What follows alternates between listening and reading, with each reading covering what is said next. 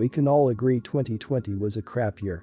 Particularly for my 29 family. We lost our dad beginning of the year after he had a heart attack and my little brother, 12, had no one to take care of him.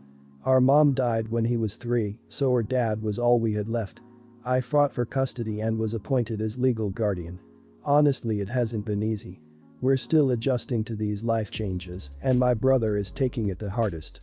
For months he was just not himself. Bad attitude, lashing out. I got him in therapy because I knew he was just hurting, plus stress of pandemic. His behavior has improved so much since then, even if sometimes there's days where he's withdrawn. Days before Christmas he was feeling sad since it was our first holiday without dad. That day, he asked to be left alone. We had a talk to discuss his feelings, and I gave him his space after that. My girlfriend was over that day and I went out to buy groceries. When I got back my brother was out of his room and helping out. I didn't think anything of it at the time. Yesterday my brother and I were out having some guy time before going back home to get ready for New Year's Eve. My brother opened up about how grateful he is for everything and he hopes that I don't change my mind about taking care of him. I asked why he think that and he told me what happened. That day when I was out my girlfriend went to his room to tell him he needs to change his attitude and stop moping, her exact words, because he should be grateful I'm taking care of him at all. And that we can still hand him over to the state if we wanted to. I was furious about this and had to reassure him that was never gonna happen because he really was worried about it. We went home, I confronted my girlfriend and she didn't deny it. She told me it's true and there was nothing wrong with telling him to stop acting like that when he should be grateful I gave up my life to take care of him.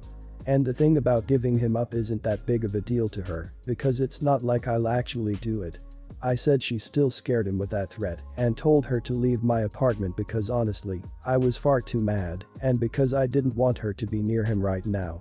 She started crying, there was more fighting, but she left in the end. It was just me and my brother for New Year's. Since last night I've been bombarded with calls from all our friends for kicking her out knowing she has no family and nobody else to spend the holiday with. Everyone has sided with her, and even my best friend says I may have overreacted by making her leave when she probably thought she was helping. They've heard my side of the story, but still think I was an idiot for making her cry and spending the new year alone. I'm having trouble seeing how I could be so here I am looking for internet strangers to weigh in on this. Not the idiot, your, hopefully ex-girlfriend certainly is, though. She waited until you were out of the house and she could verbally, emotionally, and mentally abuse your brother without interference. Your friends have no clue how much losing one parent affects children, let alone both in a short period, not even getting into the mental and emotional trauma being physically cut off from friends and activities, and possibly moving in with you, and having to change schools without being able to develop new friendships before going virtual, due to the hellscape of the past 9 months. You need better friends. You are a great person and brother for stepping up. If he and you aren't already in grief therapy, look into it, especially for him, and the first person may not be the best fit. Don't listen to anyone else in your friend group. What she did was beyond cruel to your little brother. For God's sake, the two of you have lost both of your parents, you have my deepest condolences. People process grief in different ways. It doesn't just magically disappear. He's 12, he likely hasn't learned how to properly regulate his emotions, and hormones don't help. You did the right thing by understand he was hurting and getting him into therapy. You reassured him that you would never get rid of him. You're an awesome brother. Your girlfriend, at this point, would be an ex. I don't care if she had no one to spend the holidays with. She was unnecessarily cruel to a child. Anyone that sides with her is, in my opinion, an idiot. You didn't overreact. You acted the way you should have. Not the idiot. I'd have dumped her the second she confirmed what she said. You made the right choice for both you and your brother, stick to it. She showed you she'll make cruel empty threats to get her way, and that would have turned on you sooner rather than later. She was testing the waters bullying your brother when she thought she was safe. Please tell your brother he did right to tell you and affirm that he hasn't forced you to give up life and that you're proud of where his attitude is right now. Update.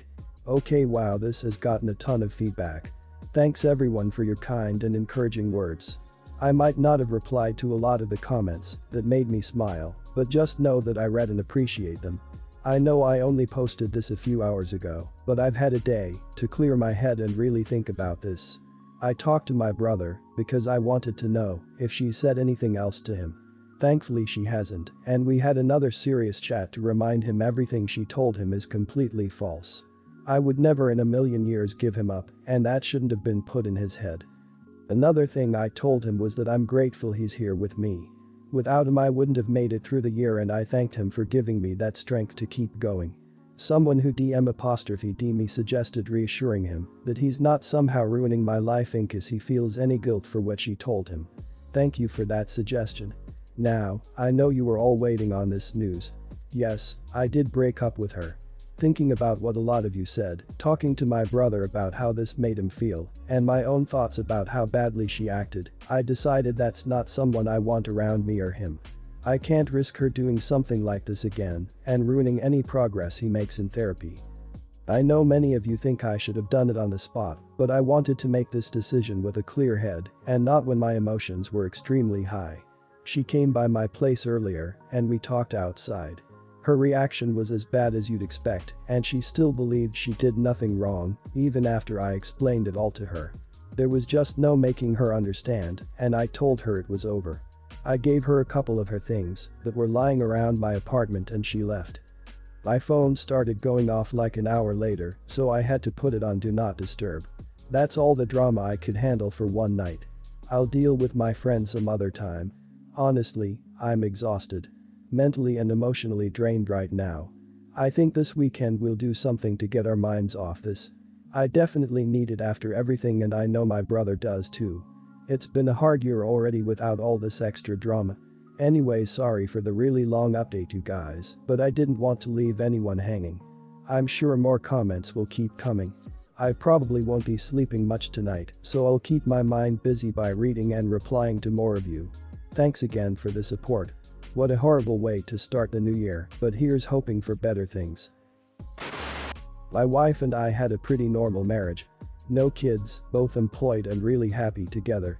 For 99% of our relationship we didn't have any major problems, we made time for each other, so on and so forth. She recently went away with her friend for a girls trip. The first two days after she came back everything was fine, and on the third we went to dinner with this friend and her boyfriend. Dinner went well, came home and went to bed. Wife woke me up in the middle of the night crying saying there was something she had to tell me. Long story short, she had cheated on me the entire trip and her friend had cheated on her boyfriend as well. Apparently the dinner together caused her to have an attack of conscience because she messaged my wife after I had fallen asleep telling her that she was going to come clean to her partner and my wife had to tell me as well or she would. We talked, yelled, cried. I spent most of the night sick told me it was just a horribly stupid decision and was perfectly happy with me, which honestly makes it worse. Why risk a happy marriage for an affair? It wasn't my fault, the usual. I've been staying at my sister's place while we figure out the divorce.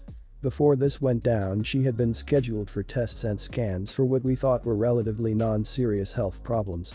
Turns out we were wrong, as I was just contacted last week by her cousin telling me a scan revealed cancer. I got in touch with my wife and we talked, she proved her diagnosis and filled me in on some details. She was understandably terrified and begged me to come back, to talk to her, hug her, give her a chance, to be there with her. I told her I wished her all the best, I'm very sorry for what she's going through and know she's strong enough to make it through, but while I'd help financially from a distance, I wasn't physically going back. They, not her, have been harassing me, telling me to man up and go to her. My own friends are split 50-50. I don't want to go back. Before anyone pulls that this is probably why she cheated. Card, no. We had a good marriage, we had a sit down talk every month to discuss anything wrong. We were solid. She just chose to take a chance on a quick thrill, despite knowing cheating is a 100% deal breaker for me. She never even planned to tell me until her friend forced her. Well I certainly don't think anyone deserves this and I am sorry it happened to her, in my opinion her diagnosis doesn't change our situation. I feel it'll be harder on both of us with me being there knowing I won't forgive her when it's over. It feels like prolonging the inevitable, and I feel like my obligation to her ended when she chose to betray our marriage. She has family and friends so she isn't alone. I care about the woman I thought I married, but I no longer love who she turned out to be, so I feel it'd be unfair to both of us for me to be there. I'm not trying to punish her, my heart just isn't in it anymore. Am I the idiot? Not the idiot, this is something I've struggled with myself for a while and needs to be said. You are not responsible for the happiness of another especially at the cost of your own, you deserve to be happy, you deserve to be loved and cared for and treated right. It's truly unfortunate what has happened to her, but understand that you aren't obligated to run back and comfort her and pretend like nothing happened, you're already helping her situation financially and honestly that's more than some people would even do. You're a good person OP, stay strong and put your own happiness first. Not the idiot. However, and this is a big however. Infidelity does happen in great marriage, and strong relationships can get through it. Not saying you're obligated to work through it, but, if you really love her and love the life you have with her then I would strongly consider attempting to work through it. Infidelity sometimes happens because someone is missing something in the relationship. Identifying that, fixing it and forgiving can leave a relationship in a better place than it was per cheating. No one could expect you to turn on a dime and support this woman emotionally after telling you that she wasn't emotionally concerned enough for you not cheat. Yes you can have a range of emotions and be concerned for her well-being. Yes you can show it in different ways. If you feel like you can't take the emotional hit by going above and beyond to support this woman, then don't. It's not good for you. The insincerity of all that isn't good for her either. There is kindness in that cruelty. I was adopted when I was 5 years old by a couple who were 28 and 30 at the time. They had no other children. This past year, two things happened. My adoptive father was diagnosed with cancer and my adoptive mother got pregnant for the first time in decades. My adoptive mother always thought she was infertile, but apparently her miracle had arrived. She carried on with her pregnancy despite his cancer and her age. She died in childbirth and my adoptive father followed her two months later. Which left me with an infant baby sister and two dead parents. My family is telling me that this is my duty, that I'm not a child or incapable, and of course they're not offering to take her in at all. They've all vehemently refused. Everyone is furious that I used my adoptive parents' resources, and now that it's time to reciprocate I'm taking the easy way out. They say I'm the right age to have a child anyway, and that it's just like if I had love and gave birth to her. They've even brought up my fertility reducing medical conditions and say this is my chance. This isn't my child. I'm not ready to be a parent. I have graduated college, yes, but I still had dreams. I'm not in a financial, emotional, or mental place to raise a child, even if I kept every penny of the meager inheritance. I'm still single, and I want to be able to date and maybe even marry and have my own family one day. I'll never be able to do anything with this child anchoring me down. I consulted with lawyers, and they say I have the right to give this child up for adoption. I'm using an adoption agency. It's an unusual adoption because I'm not attached or related to the child except legally, and I'm also splitting the inheritance 50-50 with my sister and giving it to the adoptive parents for her benefit, so they're gaining money by adopting this child. I picked a couple that my adoptive parents would have approved of, a mid-30s straight religious couple, as opposed to a 25-year-old bi-atheist, me. We've planned for an open adoption with a much more appropriate aunt role for me, and I think it will work out because I obviously don't feel or have a motherly bond. My family is furious, and I'm getting 24-7 calls that I'm selfish, that they'll force me to keep her, and all sorts of empty threats. Am I in the wrong here? Not the idiot. Your family has a very twisted view of adoption. Here's the thing. You became your parents' child and responsibility the day they signed those adoption papers. You are not a charity case. You also have a choice to raise this child, just like you would have the choice if you had given birth to her yourself. You've chosen to give her a life you are not prepared to provide yourself through adoption. Did your parents talk at all about this before? Your mom was around 50, she was going to raise this kid herself. Then when she died, your dad what? Just figured it'd somehow work out. Did anyone ever have a plan? Not that any of this matters for the judgment. You're not the idiot. You don't have a responsibility to this kid. Anyone saying you do, because you were adopted, has only ever seen you as an adopted kid, not family. So don't see them as family either. You're the idiot. Not for not raising the child, it's not fair that someone not ready for a kid be forced to take care of one, but for the fact that you won't even be bothered to try and save her inheritance for her until she's old enough. I understand that you've had a strained relationship with your parents, but this child had nothing to do with that. And you should be able to understand her situation since you've been in the same situation before, being put up for adoption. What would you do if they return her to the system after taking her inheritance? At least try to think of her as someone needing protection, if not as your sister. My wife and I have a 6-month-old baby girl and a 2-year-old boy. Wife hasn't been too happy since returning to her job from her last maternity leave and I actually just got a new job. At my old job I was working 45-50 hours a week. At my new job my hours fluctuate a lot, it can be anywhere from 60 to 80-ish hours a week at the worst. I make a lot more, though so there's that. The pay raise makes it, so my family can do really well on just one paycheck. My wife is ecstatic, because this means she can be a stay-at-home mom which is what she's wanted. The issue is that my wife and I aren't on the same page about what this change would mean. Before, when our work hours were almost equal, we divided housework pretty much equally.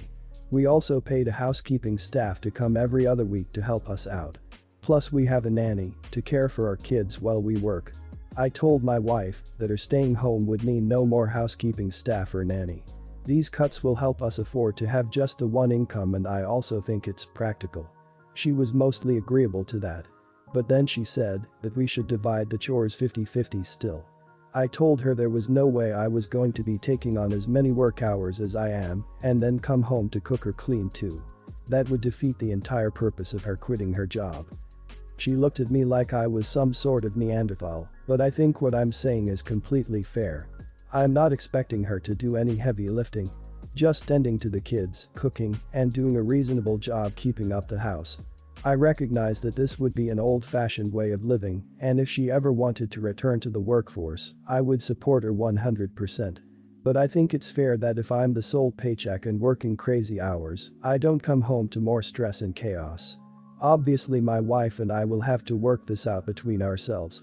I'm mainly posting here as a sanity check to see if my thoughts on this issue are completely off base. No idiots here. You both have valid concerns.